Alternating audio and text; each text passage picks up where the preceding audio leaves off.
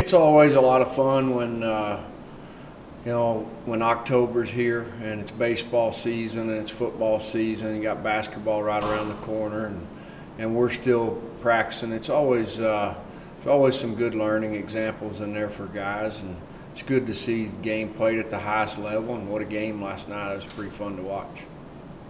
You uh, you have any connections with anybody on those teams?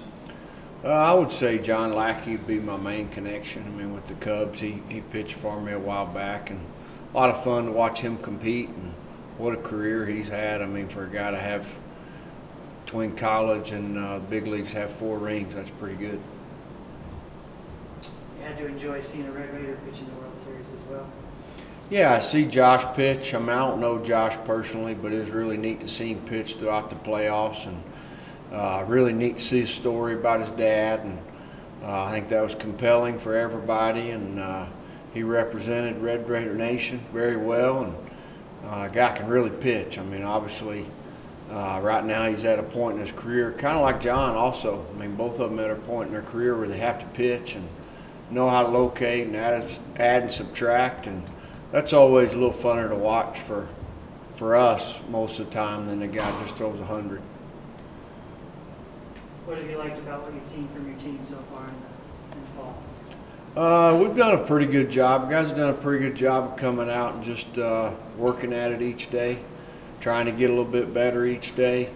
Uh, I really feel like in the last uh, 10 days, some guys have made some strides that uh, maybe hadn't made strides at some point. and it's always fun this time of fall to see uh, some things come around for guys. I mean, there's there's always an adjustment period for your your new people, uh, whether they're freshmen or junior college guys, and then there's adjustment for some guys that didn't play all summer. And so uh, it's been a little bit of both, but it's been last 10 days to two weeks been a lot of fun to watch them. Really looking forward to seeing them over the next two weeks to a month also.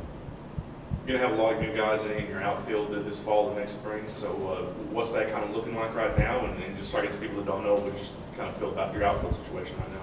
You mean we can't run Smith and Neslony back out I guess there? not. I guess not. no. Yeah, uh, it looks like Tanner's going to play some center, and a lot of competition for those other spots. Uh, you got Cody Farhat back that's played some center. I don't want to leave anybody out as far as that goes. You got Anthony Lyons back.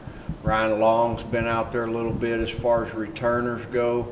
I don't think Zach Davis is back either. I don't think we'll get to run him out there. Uh, we all know he's going. All those guys are going to be missed, along with Corey Raley and some guys that other other guys that stood out there. And then uh, as far as new guys that uh, are out there, you guys will be able to see that in red black. Uh, John McMillon's a guy that kind of stands out with his power. Uh, there's a number of guys that have played pretty well this fall. Uh, and there's a number of guys that could come on between now and then. You mentioned Long playing in the outfield. He's been mostly an infielder for you. Hargrove, another guy that's played infield and outfield. How much does that help you as a coach to have versatile guys like that that can play all over the field? Well, I think we always emphasize being a baseball player, whether you're a pitcher or a hitter, and show up, put your spikes on, and we tell you go to the plate, dig in, and uh, have try to have a good at bat. And uh, as far as being able to move guys around the field, I think that gives you flexibility within your lineup. Uh, the old saying kind of goes at some point, you know, if you if you swing the bat, they'll find you a place to stand. But at the same time, you got to be able to cover that area, be able to play defense. And uh, we've definitely got a group of guys. I mean, like in the outfield again, Connor Beck, and Connor Beck's a new guy that's uh, played really well.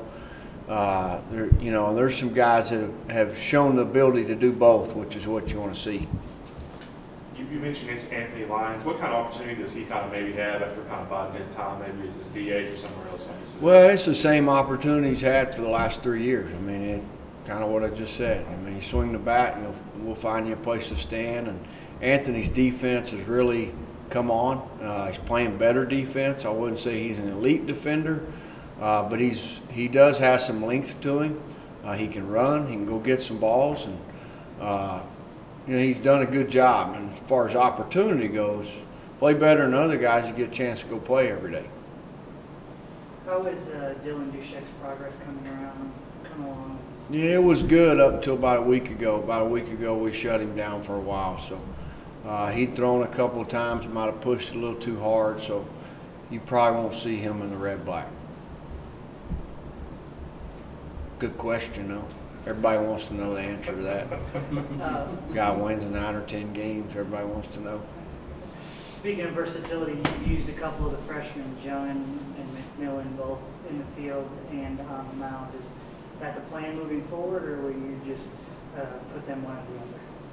No, I think both those guys have the ability to do both, and uh, we'll see. As far as time will tell, as far as swinging the bat goes, time will tell. As far as how much you know, how many innings they get. I mean, you obviously you earn the right to get in the lineup, and the game will tell us. You know, for the most part, it kind of tells you what you need to be doing, and uh, as far as pitching goes, they need to go earn the right to do that. Uh, Josh has shown an advanced, you know, ability to pitch in what little time we've seen him. That's why we've pitched him very little.